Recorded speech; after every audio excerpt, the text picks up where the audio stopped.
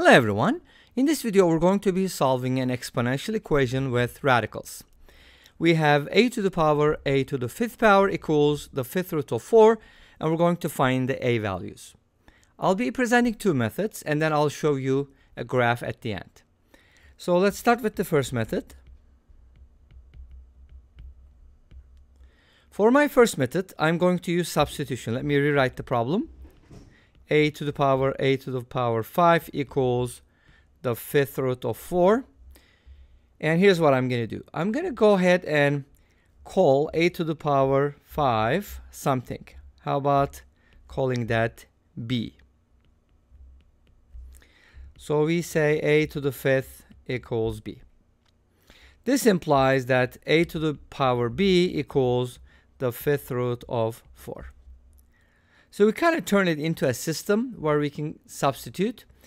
So from here, since a to the fifth power equals b, I can say that a can be written as b to the power 1 fifth, or you can write it as the fifth root of b.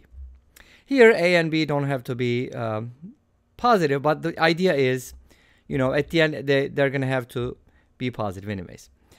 So we have a in terms of b, the fifth root of b, and now we can go ahead and substitute that here. We can replace a with the fifth root of b and then raise it to the power b and set it equal to fifth root of 4. This is going to be a short video, so let's quickly go over these. We can put the b inside, so write this as the fifth root of b to the power b equals the fifth root of 4. Since they both both sides have the fifth root, we can totally ignore them or just raise both sides to the fifth power so on and so forth. From here we get b to the power b equals 4.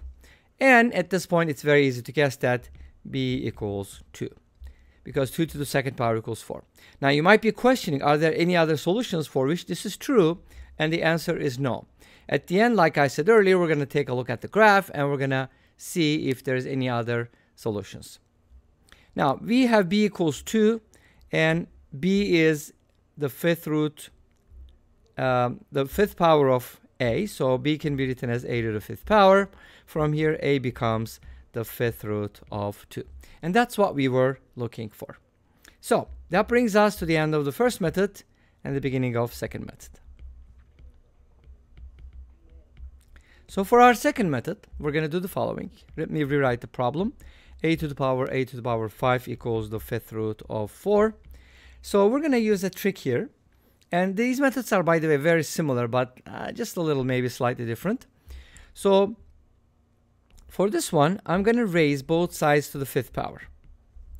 And there's a real uh, good reason behind it. First of all, if you raise both sides to the fifth power, you get rid of the radical. Uh-oh. And the second good reason is, the second good reason is you're going to have something nice on the left-hand side, which is not obvious right away, but you'll see in a little bit, it's going to turn into a nice form. So this is going to give us, when you raise a power to another power, you're going to multiply them. So this is going to become a to the power 5a to the fifth equals 4. The fifth root and the fifth power, they cancel each other out. Now what can I do with this?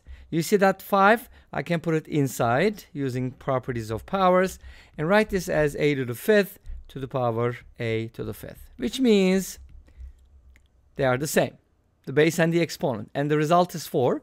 This implies that a to the fifth equals 2, and from here a becomes the fifth root of 2 as before. Let's go ahead and take a look at the graph, and we're just going to wrap it up. Like I said earlier, this is going to be a short video.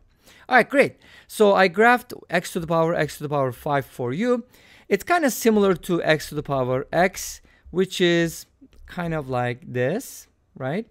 Uh, but it just curves a little differently, especially for numbers that are between 0 and whatever. Anyways, so it kind of goes kind of flat, not flat, but looks flat. And then it curves, it makes a minimum at some point, and then it goes up. And as you can see here, the intersection point has the x coordinate, the fifth root of 2. And this brings us to the end of this video. I Thank for watching. I hope you enjoyed it. Please let me know. Don't forget to comment, like, and subscribe. I'll see you tomorrow with another video. Until then, be safe, take care, and bye-bye.